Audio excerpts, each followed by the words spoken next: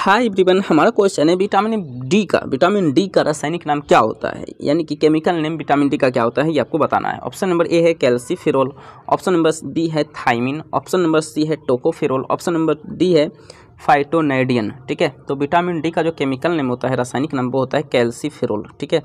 तो option number ए हमारे इस क्वेश्चन का करेक्ट आंसर हो जाएगा कैल्सीफेरोल। ठीक है?